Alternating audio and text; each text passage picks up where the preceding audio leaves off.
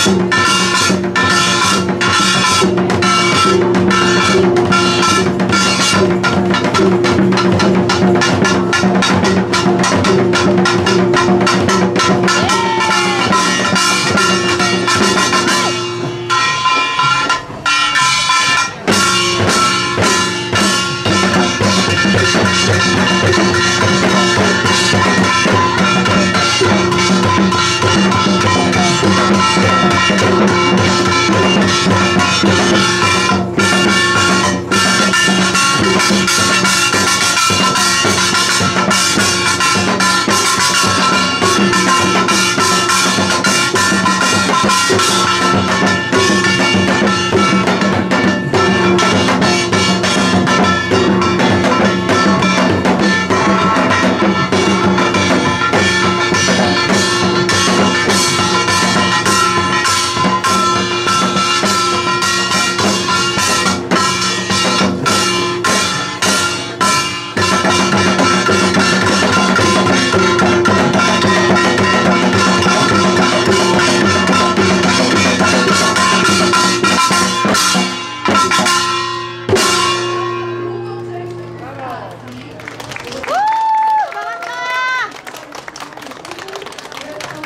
Nazywamy się zespół Hanulin. E, Jesteśmy zespołem, e, który powstał po warsztatach Centrum Kultury Korei.